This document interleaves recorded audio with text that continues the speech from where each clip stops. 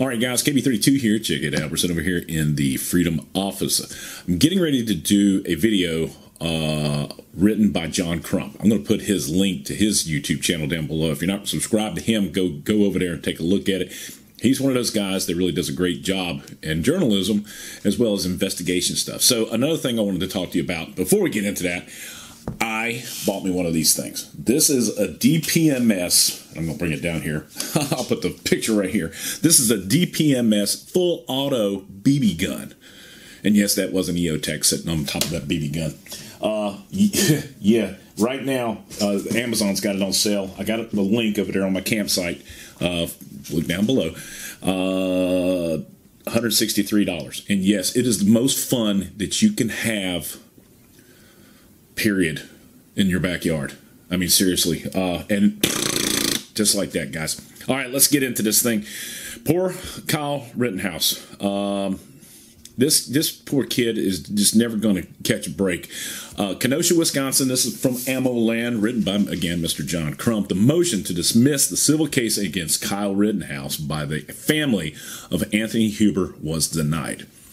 So if you want to know who Anthony Huber was, that's the cat that was carrying the uh, the skateboard and tried to hit Rittenhouse over top of the head, and of course he popped one and uh, took him out. So Anthony Huber was shot and killed by Mr. Rittenhouse after attacking the teenager with a skateboard at Black Lives Matter protests that turned into a riot. Mr. Rittenhouse was there to provide medical aid to anyone who needed it after he spent the day cleaning up vandalism. Yeah, so at the same house, at the same token, basically, guys, the anti-gun people will never stop, never stop, never stop, never stop. At the time of the shooting, Rittenhouse was being chased by an angry mob after shooting a convicted child rapist who attacked him. Yeah, the crowd descended on the young man and when he stumbled and fell to the ground. All right, here it is. The lawsuit was launched by Anthony Huber's father, John Huber. The elder Huber claims that Rittenhouse unjustly shot and killed his son and is entitled to a cash settlement. Wisconsin unsuccessfully tried Rittenhouse for murder. Mr. Rittenhouse beat all the charges levied against him. Many in the Second Amendment community viewed those charges as the malicious prosecution by the state to appease the angry mob. And basically, that was it. Uh, they believed that Rittenhouse was justified in his use of force. Yeah, he was. Absolutely. The guy was being attacked. He was doing nothing before the crowd attacked him. Mr. Huber claims his son was a hero and was just trying to disarm the youth. now he's trying to hit him over the head with a goddamn skateboard. Excuse my French.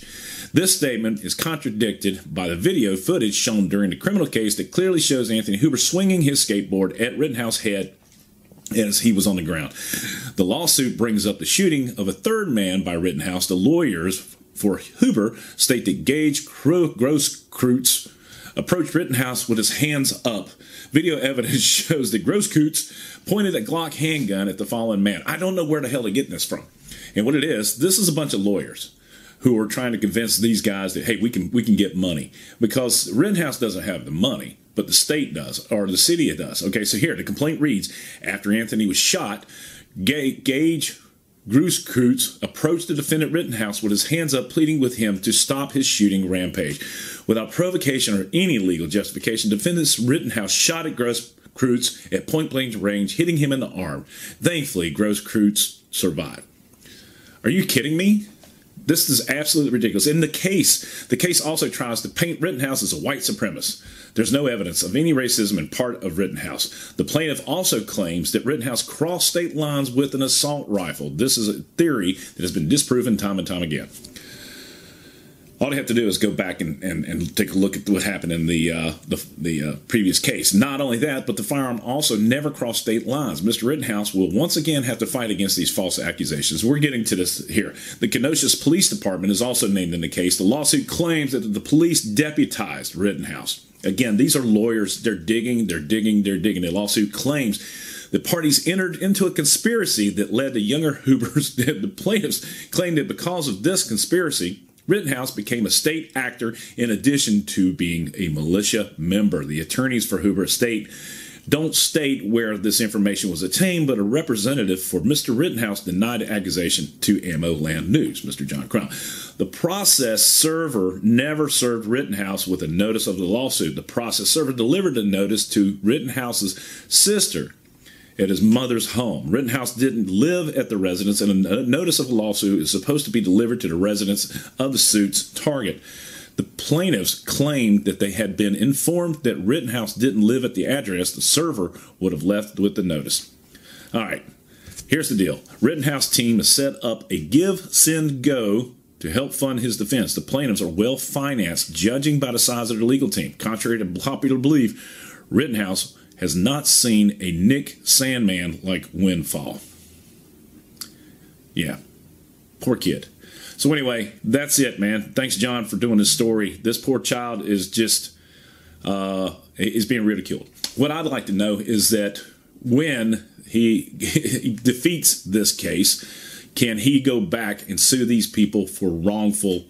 Uh, I don't know. What do you call it? Wrongful suit? Yeah, and the lawyers. Go after the lawyers, anybody who backed them up, the state, anybody else. With that said, y'all let me know what your thoughts are down below. Don't forget to check out the campsite. That BB gun is absolutely fun. I'll do some videos showing that thing shooting. I can actually do that in my backyard. It's a lot of fun.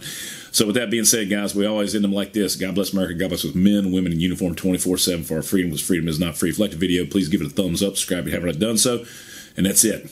Uh, go. Don't forget to check out John Crump's uh, YouTube channel. Y'all be good. I'm KB32, and I am out of here. Boom.